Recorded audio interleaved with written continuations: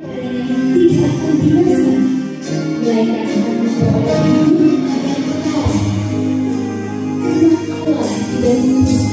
you.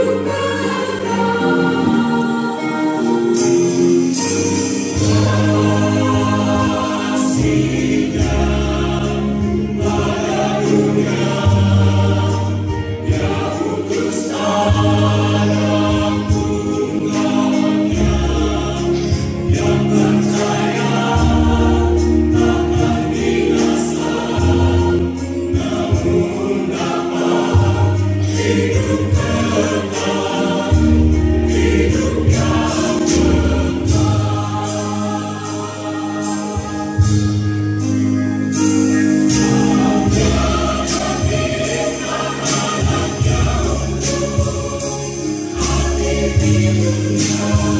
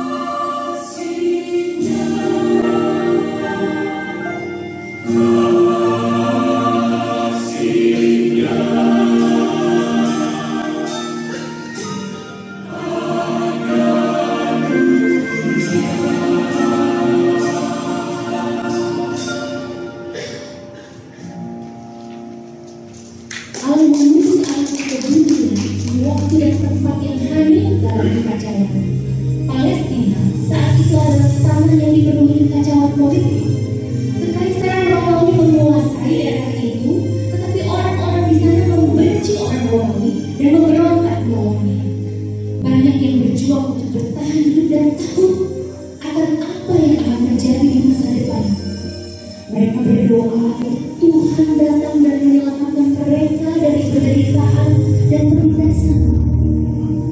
Ketika Yesus datang, dia melakukan banyak mujizat. yang bertobat dengan kuasa dan otoritas.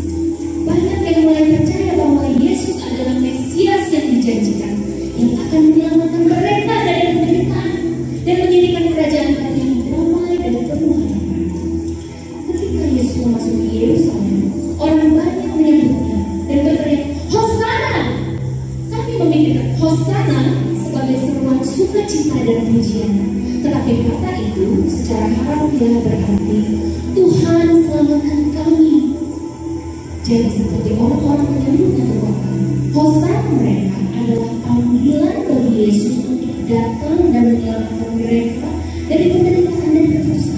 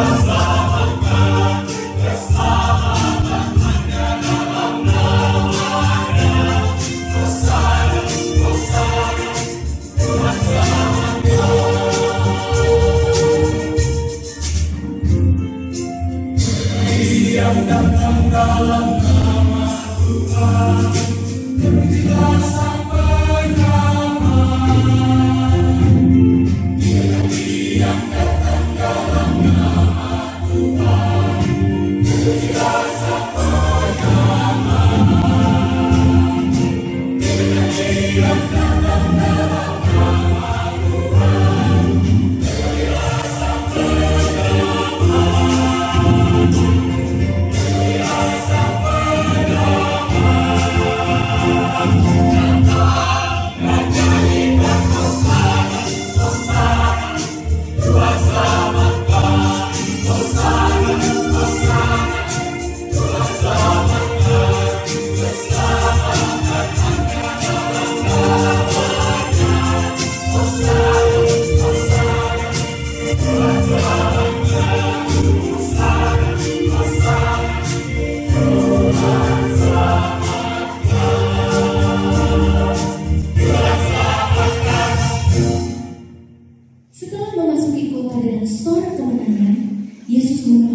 Murid-muridnya untuk ikut merayakan Paskah di ruang atas.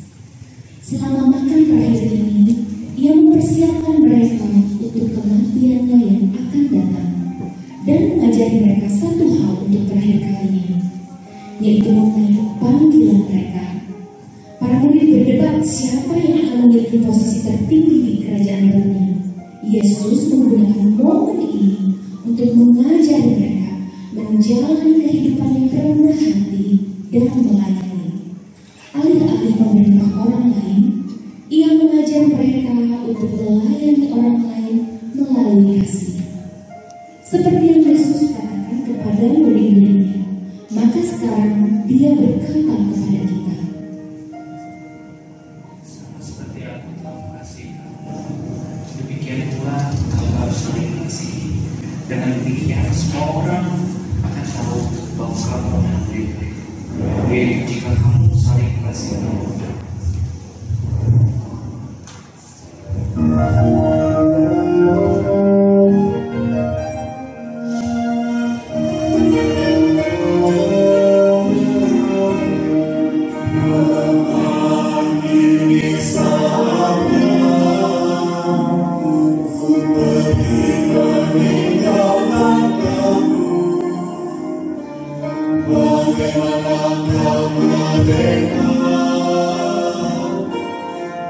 Sayang